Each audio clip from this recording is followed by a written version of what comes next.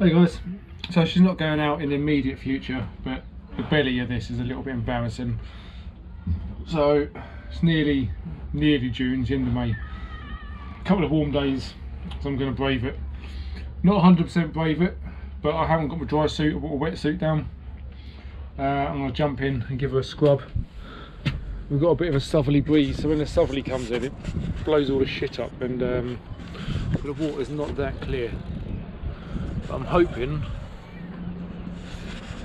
if I put you on a, on a head mount when I get in, I might be able to capture some of the, the footage.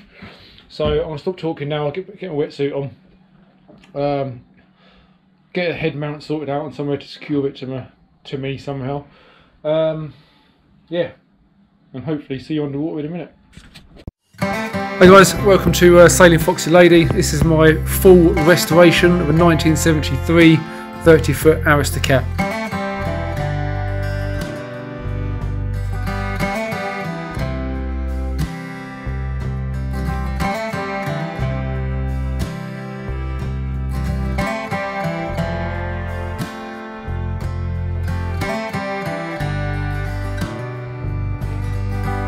Uh, please like and subscribe if you would like to follow our progress. Thank you.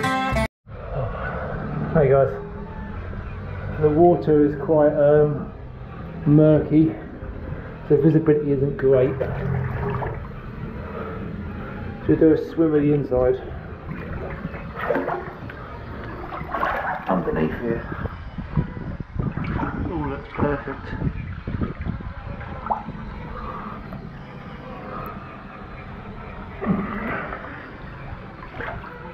No concerns whatsoever.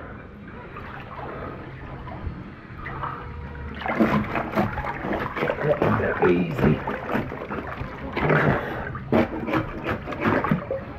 What I do, I just quickly uh, don my mask. We'll have a look underneath.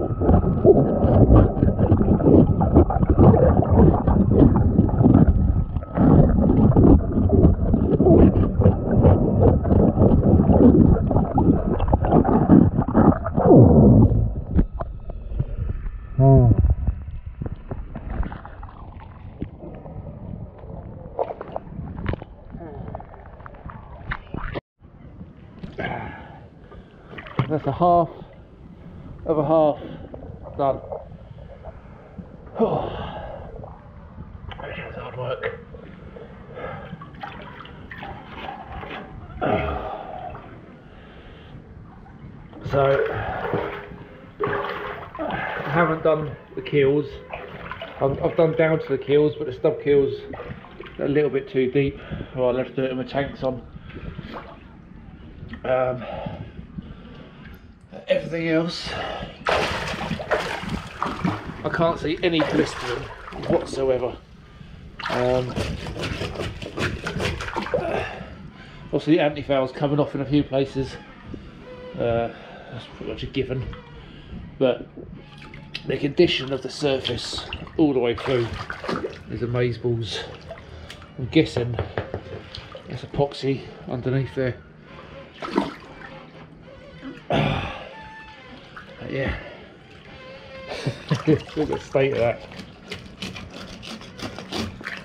It's tempting to do the whole lot, but I think a couple of hours in the water would be enough. So I'm going to do the other side of this side and save the joys of doing this for maybe next weekend.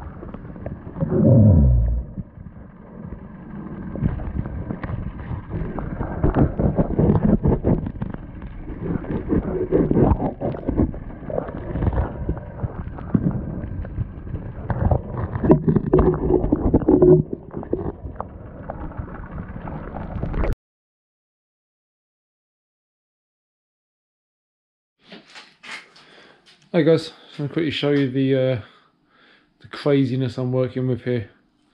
So this is me planning for the for the Dodger roof. So I've got the bit before well marked out, um, drew the line of and the curve. So this is the the negative, if you like. So this this will sit outside of the um, the Dodger roof. So this is to this shape here is going to be the shape that my mould will sit in.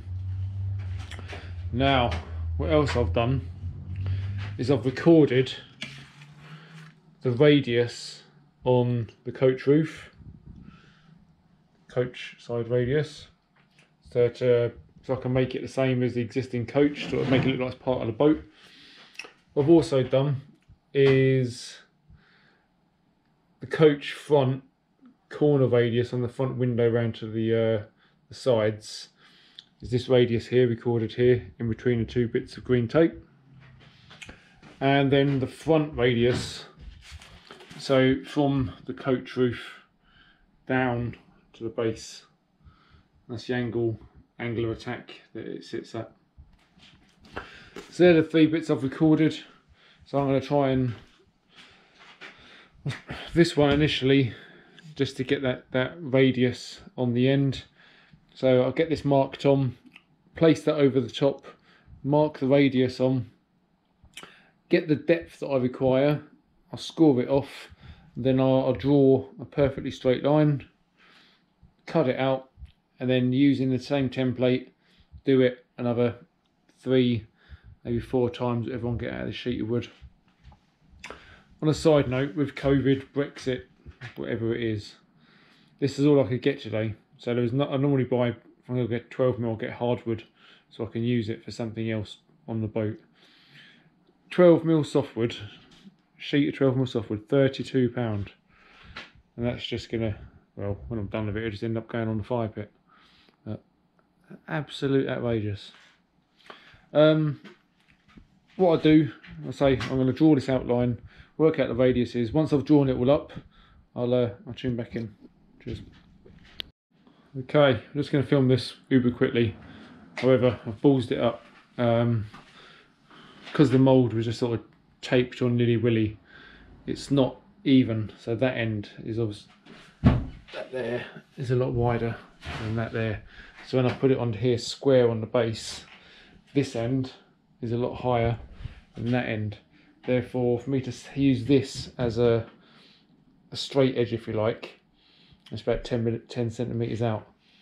So, to that end, I'm going to flip it over, start again, this time measuring where the mould, the template comes, that it's level, and then mark it on. Hey guys, so I love squandering money. So a sheet, all I got was two templates out of it. I need to do two meters, so it's going to need at least at least another one, if not two sheets. The way it's worked out, I've got this as an offcut, where that's not big enough for a template, and I couldn't even make these any smaller to still fit the need. So this, because this here you know the breaking strain on a bit of soft ply I don't want to go any smaller than this really or it's just going to end up getting broken when I'm moving it around but I've cut two sheets um, so I'm back I'm going back to work now when I get back I'll cut this template out onto the next one draw it on keep using this as the, the primary template so I know they're definitely the same and uh, and I'll work out what I need from there. Yep. Living the dream. Hi guys, um, had a mental weekend, absolutely mental. Um, I had to put new brake shoes on my truck. I had to remove the ABS from my bike.